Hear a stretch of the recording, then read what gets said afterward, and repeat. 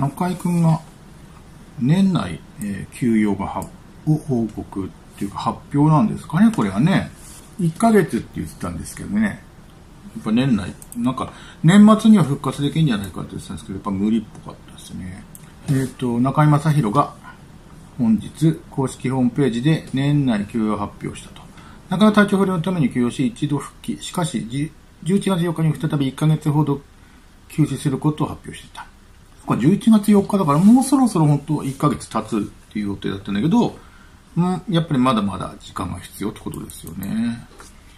この日の発表では、先日およそ1ヶ月の休養と発表してから今日に至りますが、体力、筋力の回復を図るコンディションまで整いませんでしたと説明。まあそうでしょうね。2022年の活動は終了し、療養に専念させていただくこととなりましたと報告。体調に関しての細かい詳細は慎みたいと思っておりますしながら、気力に関しては以前より数倍上がっています。天気の良い日は太陽も浴びています。お買い物のため少しずつですが外出しております。夜更かしだってしております。と充実をアピールした一方で一歩ずつ、日によっては一足ずつ、半足ずつっていうんですか？進んでおります。一歩、少し止まることもありますとも。本来ならここで一曲で行きたいところですが、喉の調子が30年以上改善が見られないため、遠慮させていただきます、ジョークは交えファンを気遣ったと。また中井くんっぽい感じなんですね。えー報告全文だそうですけど、のんびり中井からのご報告、今後の活動についてまず誠に勝手ながら、こちらからの一方的なご報告になりますことをお詫び申し上げます。先日およそ1ヶ月の休養と発表してから今日に至りますが、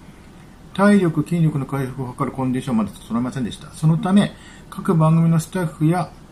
関係者と連携を取り、2022年内の活動は終了し、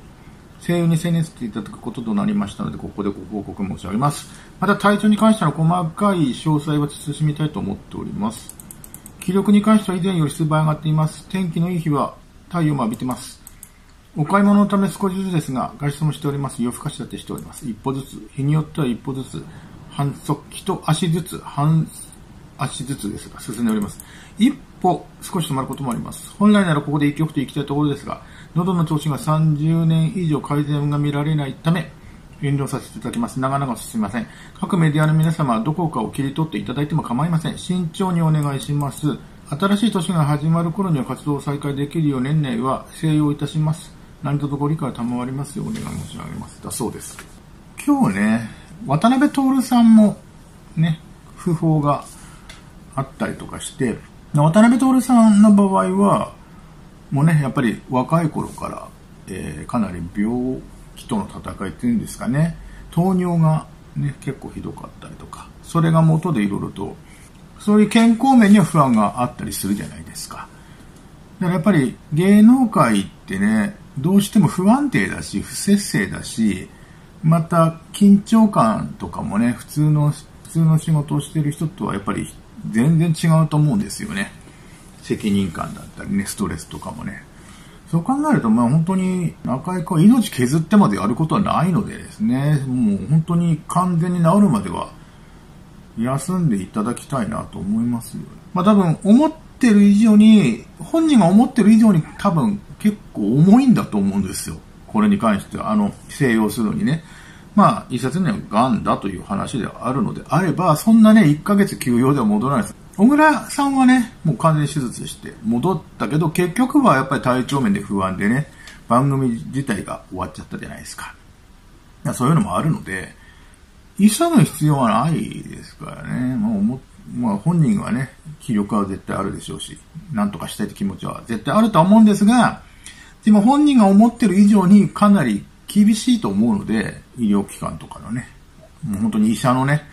えー意見を聞いて、少しずつ、本当に少しずつでいいんですけど、完璧に治るまで休んだ方がいいんじゃないのかなと僕は思いますけどね。中井くんだったらね、療養して完璧に戻ってきたところで席は絶対また取り返せると思いますよ。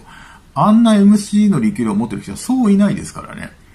大丈夫だと思いますからね。頑張ってほしいなと思います。